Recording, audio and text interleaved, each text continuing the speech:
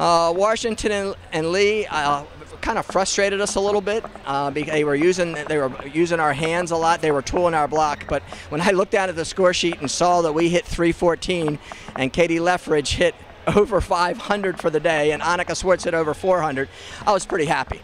Uh, we, we had a fight, really fight for that one, uh, and I thought it was good that we got pushed and uh, and responded after we did not play well in that second game.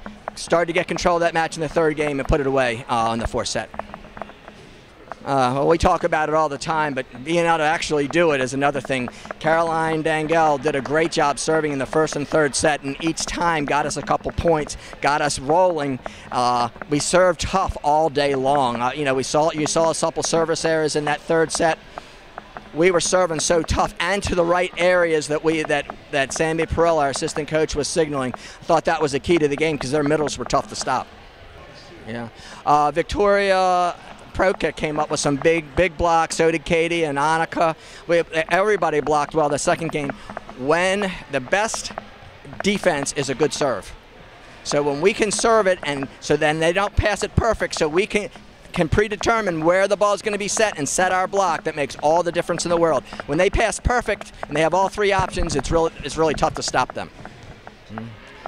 Well, we ha- we've had a lot of recruits come through here in the last week, and one of the questions at the end of practice is always, who do you think starting? because you can't tell from practice. And that's what I told them in the huddle. This was an 18, 18 member team, and how hard we work in practice. We were primed for a day like this.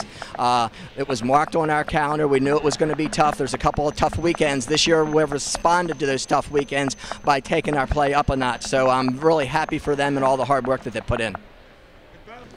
I think it, it means uh, it, it, says a lot about the program. Uh, you know, I'd be remiss if you know Brent and Laura Whitehead. Uh, Laura was our assistant for eight years. Sammy is the assistant this year, but uh, and Brent Whitehead, they have put in hours, and I've given them a ton of responsibility. And we would not be winning without our assistant coaches. Uh, we're both just watch film and watch film, and, and Brent is such a technical coach. And you know, one of the reasons why we have three great setters is Brent Whitehead. Uh, he does just a fantastic job, and I have to give a lot of those credit for a lot of those wins to the staff and then the girls. You know, the girls that have come in here and worked hard, and you know, we've had players come in that didn't look like they were very good until they got in our gym and we've been able to coach them up and make them good players because they're one, they want to win and they want to work hard and they listen to the coaches. You're welcome.